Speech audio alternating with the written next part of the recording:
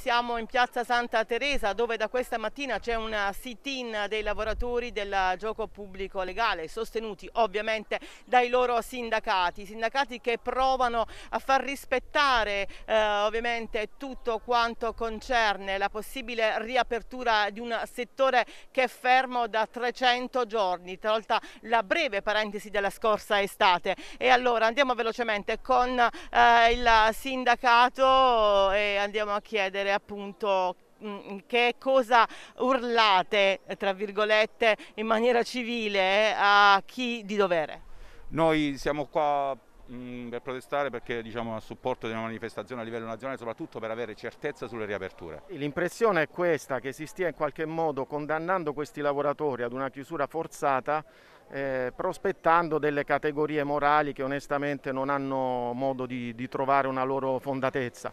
Questi lavoratori sono 150.000 in tutta Italia, lo ricordiamo, hanno diritto di ritornare a lavorare. In questo periodo il rischio è che oltre a eh, non garantire una fonte di reddito ai lavoratori che sono impiegati nel gioco legale, rischiamo di favorire quello che è il gioco illegale.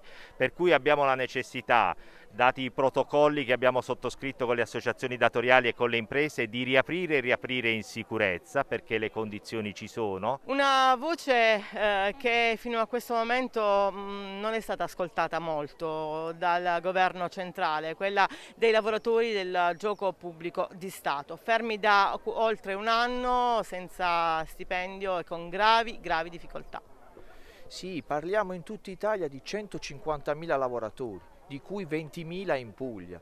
Quindi parliamo di tanti giovani, donne, uomini, padri di famiglia che ormai da oltre un anno sono senza lavoro, da oltre un anno sopravvivono con la cassa integrazione che arriva a singhiozzi e quindi mi sembra opportuno in questo momento eh, chiedere a gran forza qui in Puglia, alla prefettura, al governo di riaprire il mondo del gioco legale di Stato.